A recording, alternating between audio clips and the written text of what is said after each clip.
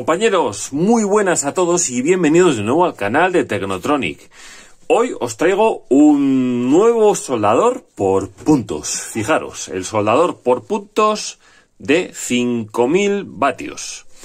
Os lo voy a explicar las primeras impresiones y qué es lo que trae. Y vamos a ver después cómo se utiliza y qué resultados da haciendo los puntos de soldadura. Vale. En principio viene esto, que es el soldador, una cajita Interiormente trae una batería eh, de lipo de 4000 miliamperios. Unas puntas. Por aquí nos trae unas tiras de níquel de 0,2. Perdón, 0,12 trae, muy, muy blanditas. Y en este círculo, estos, estas cosas circulares son unas lijas de, de, de grado fino, de grano fino. Vale. También nos trae un cargador para cargar las celdas que están dentro, 8,4 voltios. Y nos trae un pedal, porque este eh, soldador por puntos necesita pedal, para darle pues, o con la mano o dejarlo en el pie y darle con el pie. Muy bien, lo primero, tenemos que leer lo que nos pone por aquí un poquito, que bueno, que suelda hasta 0,2 milímetros de tiras de níquel, eh, eh, cuando presionamos el pedal, eh, hay que esperar medio segundo a que el pulso salga. No es cuando nosotros le damos actúa el punto de soldadura, sino que damos, esperamos medio segundo, que no cuesta nada esperar medio segundo, y entonces sale el punto. Cuando nos viene, eh, nos viene totalmente descargado, por lo tanto habrá que ponerlo a cargar durante unas horas ya nos avisa aquí de que antes de que esto hay que ponerlo a cargar. Vale. En el panel frontal tenemos una ruleta de intensidad. Desde que está ahí, está apagado, iremos girando, iremos girando y se enciende. Y aquí pondremos el grado que queremos dar de fuerza a los puntos de soldadura, desde menos hasta más. Un LED de color rojo el cual nos indica que está encendido el soldador. Aquí tenemos la toma de carga. Pondremos el cargador. Le enchufamos para cargar la batería de dentro. No es necesario tener el cargador enchufado a la red para poder soldar con este soldador. No es imprescindible. Si viene bien para cargar, pero no, hace, no es necesario tenerlo eh, conectado todo el rato. Podéis observar que aquí tenemos un panel de LED que nos marca el voltaje de la batería interior. Está a 8,21 ahora exactamente. Y aquí tenemos que nos pone output. En el output vamos a meter las dos puntas de soldadura. Ahí. Una vez metidas las dos puntas de soldadura, nos vamos a la parte trasera y podemos ver que tenemos aquí otra toma la cual meteremos el pedal. Metemos el pedal y el pedal lo que vamos a hacer es dejarlo en la parte baja del pie. Vale. Una vez que tenemos ya todo esto, pues estamos ya preparados para empezar a soldar. Supuestamente si hacemos así, no pasa nada porque este soldador no es automático como muchos otros. Bien, poniéndonos unas gafas, siempre por seguridad de nuestros ojos, que solamente tenemos dos, vamos a coger una tira de níquel de 0,12, otra tira de níquel de 0,20 por 10 y 0,15. Y vamos a ir paso por paso. Vamos a ir viendo paso por paso cómo suelda este soldador. Voy a acercar un poquito la imagen para que veamos qué soldaduras hace y cuáles son nuestras impresiones. Este tipo de soldador tiene unas puntas, ya podéis ver, que trae un, cable de 10 milímetros, este cable flexible es de 10 milímetros.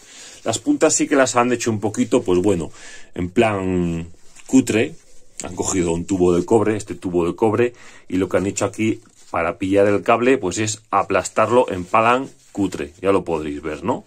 Las puntas, pues bueno, más que suficiente para hacer soldaduras.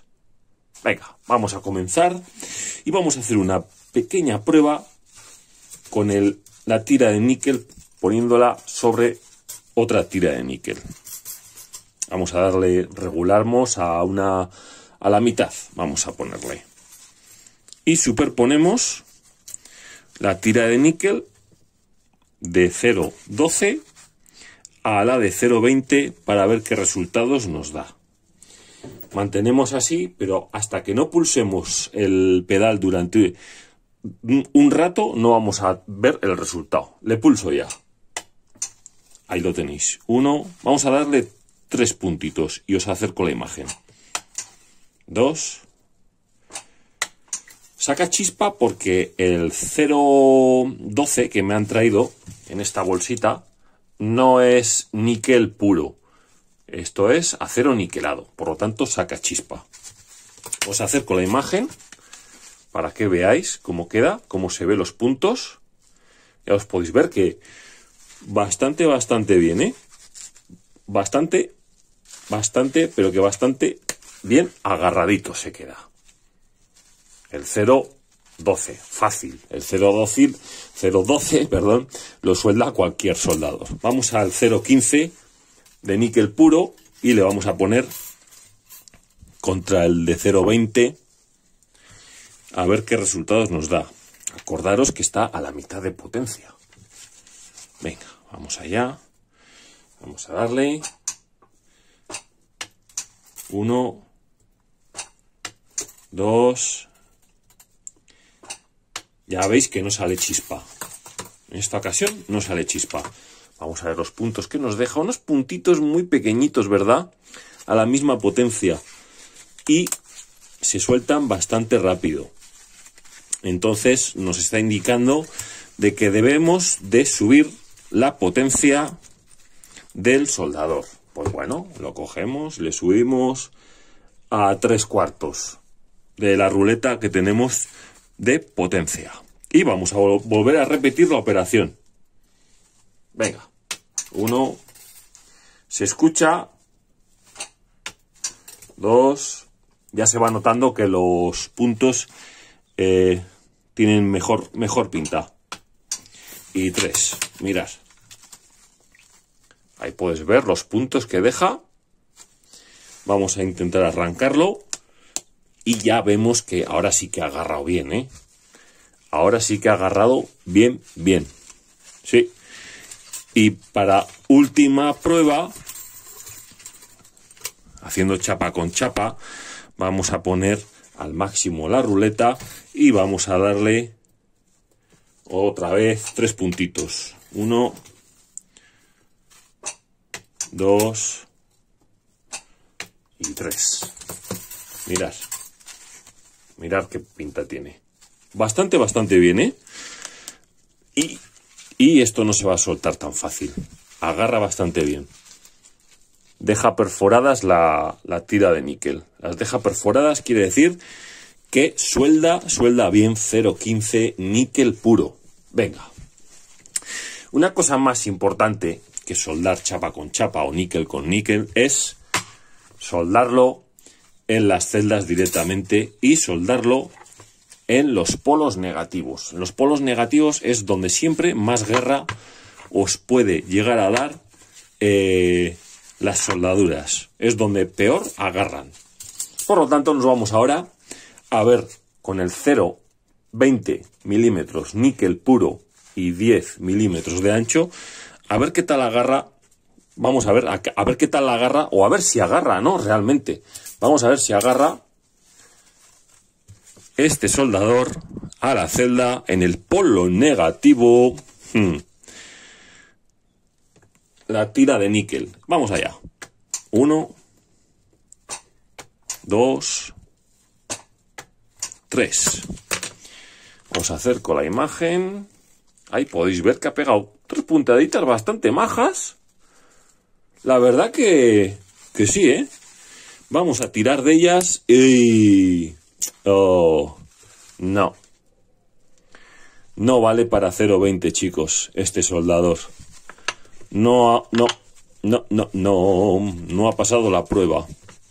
Vamos a volver a probarle en el polo positivo, por ejemplo, el polo negativo de otra celda, no vaya a ser que también sea por, por la celda esa que puede ser falsa o que es muy mala o, o el tipo de, de metal que tiene no agarre bien. Vamos a ver. En esta otra celda, esta celda es de litocala. Esta celda es una celda falsa que compré hace bastante tiempo de Samsung 35E, pero es más falsa que falsa. Esta, sin embargo, es verdadera de litocala. Bueno, le hemos dado tres puntitos que tienen buena pinta, pero lo importante es que a la hora de tirar mmm, se queda un poquito un poquito escaso. ¿eh? Yo diría que no tiene suficiente potencia para 0.20. Para 0.15 yo creo que sin, sin ningún tipo de, de pegas. Vamos a coger el 0.15. Está puesto a tope y le metemos. Vamos a meterle caña. Uno, dos y tres. Vamos a ver el 0.15. Tiramos y en 0.15 sí. En 0.15 sí que hay que tirar bastante más fuerte y deja el níquel, lo deja perforado. Eso quiere decir que sí que agarra y deja restos de níquel en la, en la celda. Por lo tanto, por lo tanto, eh, ya habéis podido apreciar que el 0.20 no sirve, este, es, este soldador, no ha pasado la prueba del 0.20, pero del 0.15 níquel puro sí. Tener en cuenta que es níquel puro. Si, si fuera 0.15 acero niquelado, soldaría mucho mejor. Incluso si fuera 0.20 acero niquelado, también podría llegar a soldarlo mejor. Pero níquel puro 0.20 no suelda este soldador. 0.15 sí. Pues bueno, espero que os haya gustado esta review de este soldador por puntos 5 de 5000 vatios. Y si os ha gustado esta review, pues me dejáis un like, suscribiros a mi canal por aquí arriba. Cualquier duda o consulta o comentario me lo dejáis por abajo o en mi grupo de Telegram de Todo Baterías. Nos vemos en un próximo vídeo. Agur, agur.